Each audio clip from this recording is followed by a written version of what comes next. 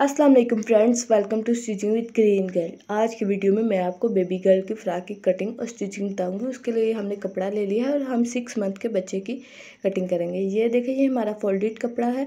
ये हमारा गगरी का कपड़ा होगा। इसकी लंबाई ग्यारह इंच है और इस कपड़े की हम चौड़ाई लेंगे बारह इंच। तो ये देखिए बारह इंच फोल्डेड है, खोलने के बाद ये चौबीस इंच होगा। ये देख लें मैंने दोनों तह फोल्ड की हुई हैं, यानी कि ये दो तय हैं, लेकिन फोल्ड करने के बाद चार तय हो गई, यानी कि फ्रंट और बैक का हिस्सा। अब हम क्या करेंगे, इसको कर देंगे साइड पे, और यहाँ पे ये हमने पेटी का कपड़ा ले लिया। पेटी की लंबाई और चौड़ाई आपको खोल के बता देती हूँ। पेटी की लंबाई हमने ली है यहाँ पे आठ इंच, और इसकी चौड़ाई हमने ली है ग्यारह इंच। ठीक है, हमारा बच्चा बहुत हेल्दी नहीं है, लेकिन कमज़ोर भी नहीं है नॉर्मल से है, ये उस हिसाब से उसका माप है। चार इंच पे हम तीरा ले लेंगे और आर्म होल भी हम लेंगे चार इंच, यानी कि फोर इंच, और यहाँ पे ऊपर से तिरछा दे देंगे। यहाँ से हम पाँच इंच लेंगे, लेकिन हल्का सा मैं थोड़ा सा शेप दे लूँगी और उसके बाद इसकी कटिंग कर देंगे। ठीक है, यहाँ से हल्का सा हमने शेप दी, यहाँ से आर्म होल को काटा और ऊपर से भी तिरछा मार्क कर दिया। तरह से कटिंग करने के बाद अब हम क्या करेंगे? इसकी नेक की कटिंग करेंगे। कपड़े को खोल लेंगे और गहराई में हम निशान लगाएँगे दो इंच और चौड़ाई में निशान लगाएँगे तकरीबन डेढ़ इंच और यहाँ से हल्की सी गुलाई दे लूँगी। ये देखिए, इस तरह से गुलाई दे ली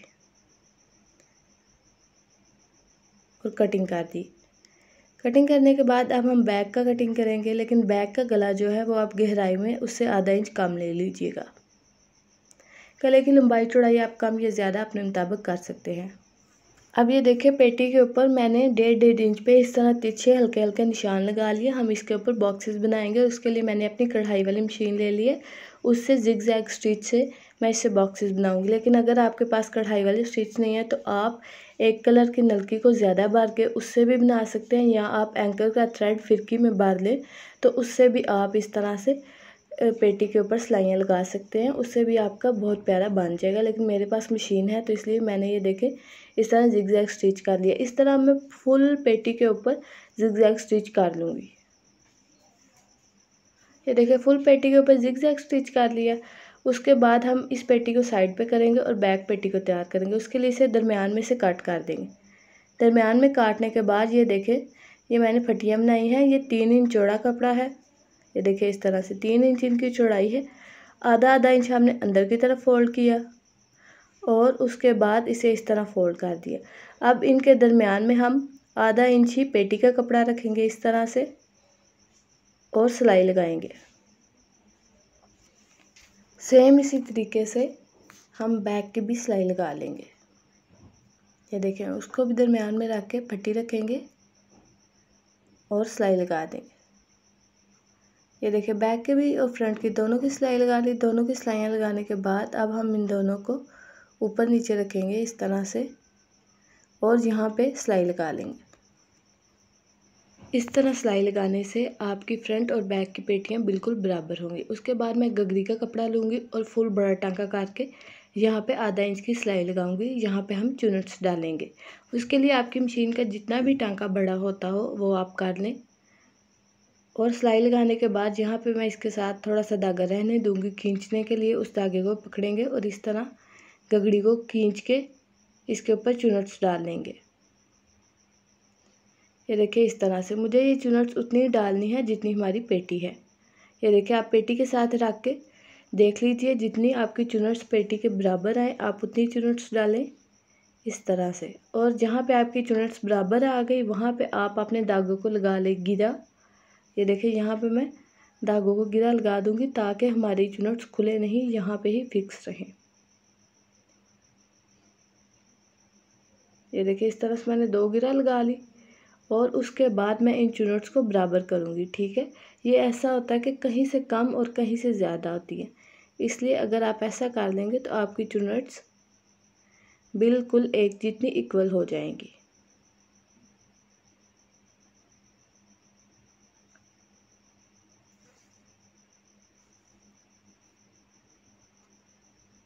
ये देखिए, इस तरह से मैं हल्का हल्का सा रख के इसे बराबर कर लिया।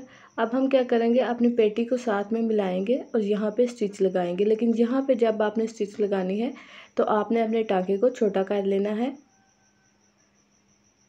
ये देखिए, इस तरह से, ये देखिए, मैं अपने टाँके को छोटा कर लूँगी, ताकि हमारी चुनट्स अच्छी तरह से फिक्स होके अटैच हो जाए। अब हम इन्हें इस तरह बिल्कुल सही सेट करेंगे और फिर सिलाई लगाएँगे। जितनी अच्छी से आप चुनट्स डालेंगे और सिलाई लगाएँगे, उतनी अच्छी से आपकी फ्रंट साइड पे चुनट्स नज़र आएँगी और वो फिनिशिंग के साथ होंगी। अब ये हमने फ्रंट की गगरी अटैच कर ली थी सेम तरीके से मैंने बैक की भी अटैच कर ली थी और अब हम इसके यहाँ से कंधे अटैच कर लेंगे।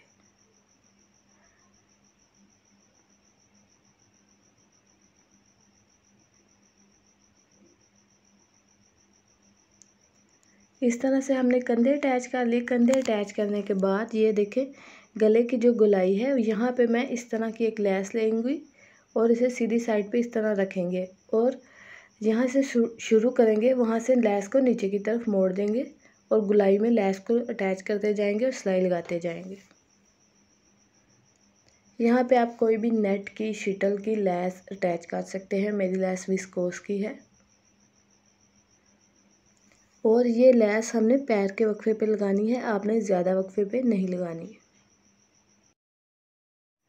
इस तरह से फुल अटैच कर लेंगे लैस को, और जहाँ पे ख़त्म करनी है, वहाँ पे भी लैस को आपको नीचे की तरफ़ इस तरह से मोड़ देना है और उसके बाद सिलाई लगानी है।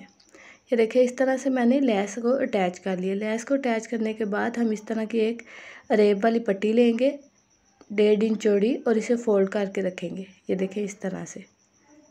फोल्ड करके रख दी और अब हम इसे सिलाई लगाते जाएँगे। ये देखिए, पट्टी का जो हिस्सा हमने फोल्ड किया है, वो बाहर की तरफ़ है, यानी कि जिस साइड से धागे निकलेंगे, वो हम सिलाई के अंदर देंगे।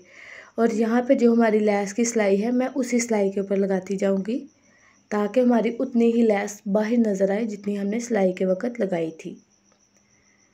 अब ये देखें इसी तरह मैं गोल गोल घुमाती जाऊँगी और सिलाई लगाती जाऊँगी। क्योंकि बच्चे के फ्राक छोटे होते हैं, उन्हें बहुत ध्यान से स्टिच करना होता है। यहाँ पे ये देखें, इस हिस्से को मैं लैस के ऊपर मोड़ दूँगी और सिलाई को बाहर निकाल दूँगी। ये देखिए, इस तरह सिलाई को बाहर निकाला तो ये हमारा हिस्सा इस तरह से बाहर को आ गया। अब हम इसे इस तरह से फोल्ड करके जब सिलाई लगाएँगे तो हमें फ़ोल्ड करने में और सिलाई लगाने में आसानी होगी। लेकिन उसके लिए यहाँ पे मैं एक टॉप स्टिच लगा दूँगी। टॉप स्टिच से आपको फ़ायदा ये होगा कि आपका कपड़ा अच्छी तरह से बैठ जाएगा।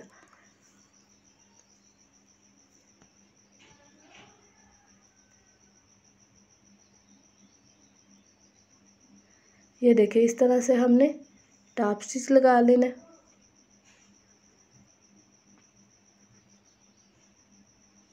ये देखिए टाप स्टिच मैंने लगा लिया था, उसके बाद हम उस कपड़े को अंदर की तरफ़ फोल्ड करेंगे और यहाँ लैस के ऊपर सिलाई लगाएँगे।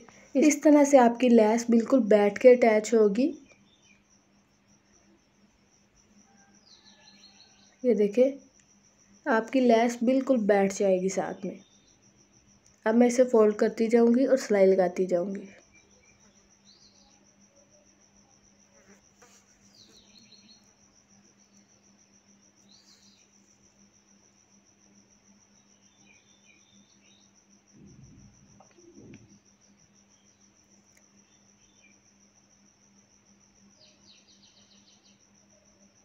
इस तरह से हमारा गला बिल्कुल फिनिशिंग के साथ अटैच होगा। अंदर की तरफ़ पट्टी भी लागी, लैस भी लागी। अब इसके बाजुओं के ऊपर मैं मगज़ी लगा दूँगी। ये देखें इस तरह से मैंने इसके बाजुओं के ऊपर ये मगज़ी लगा दी। ये देखें और अब हम क्या करेंगे, इसकी फ़िटिंग की सिलाई लगाएँगे। यहाँ पे हमने फ़िटिंग ज़्यादा नहीं करनी, सिंपल आधा इंच की सिलाई लगानी है।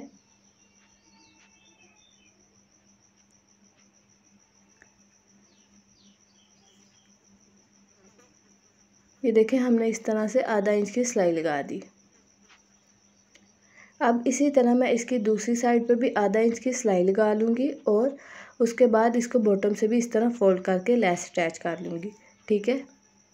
ये देखें, इस तरह से ये हमने इसे बॉटम से भी फोल्ड कर लिया था और उसके ऊपर लेस अटैच कर ली और हमारी बड़ी प्यारी सी फ्राक तैयार हो गई है। ये देखिए गले के ऊपर भी लेस बहुत अच्छे से आगे पीछे हमने काज किए थे और बटन लगाए हैं दो। और बाजुओं पे भी बाजुओं पे लैस लगाते तो ज़्यादा हो जाती है इसलिए हमने सिर्फ़ मगज़ी पे लगाई है। और ये इसके साथ हमारा ट्राउज़र है, ट्राउज़र की ये देखिए साइड पे मैंने वही टांके के साथ सिलाई की है और अंदर में जिग जैग स्टिच के साथ डिज़ाइन बनाया है। वीडियो पसंद आई हो तो आपने वीडियो को लाइक ज़रूर करना है, इस तरह आप अपने किसी बच्चे की फ़्राक बना सकते हैं। थैंक यू सो मच, अल्लाह हाफिज़।